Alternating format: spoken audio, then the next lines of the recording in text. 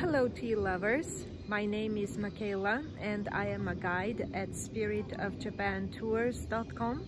Today we are making a special virtual journey for the Temple of Tea.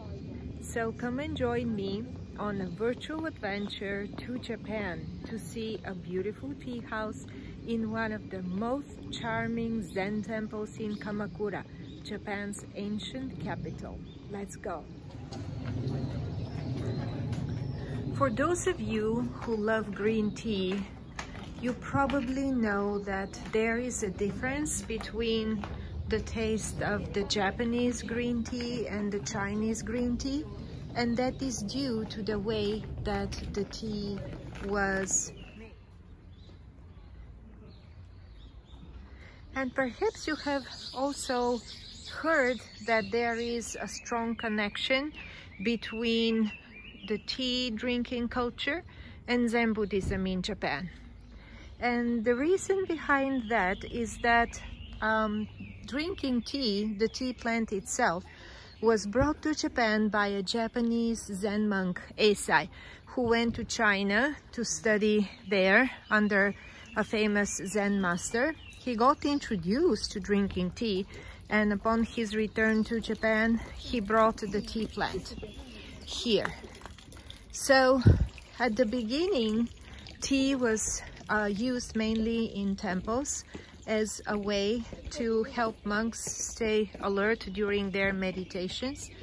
And little by little, the whole thing evolved into the present day tea ceremony that we know. So the original tea master was again a Zen monk. So very often in Zen temples, you're going to see tea houses. And this is, by the way, what we will see now. Because the whole tea ceremony is like a meditation.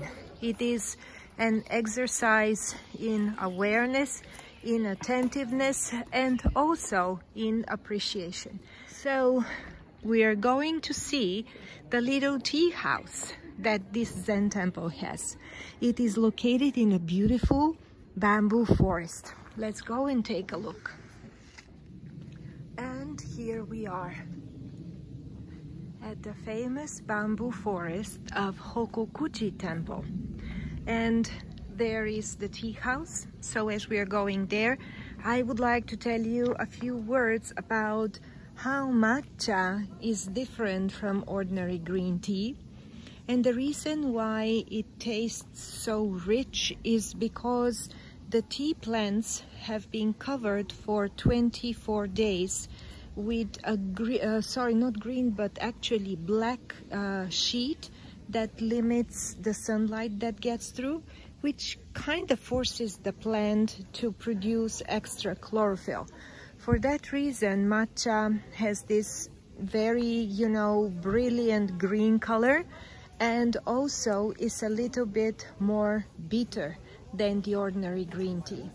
So this is the tea house and I'm going to get inside and get a bowl of matcha.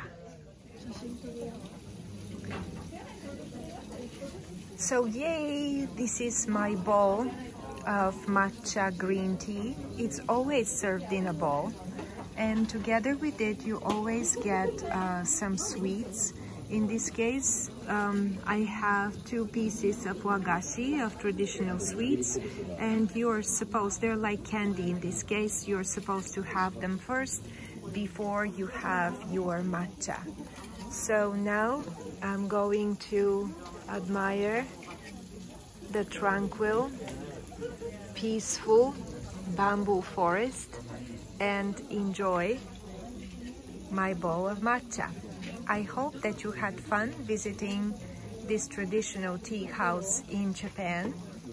And if you like matcha, try Japanese one. It's really good. Thank you and goodbye.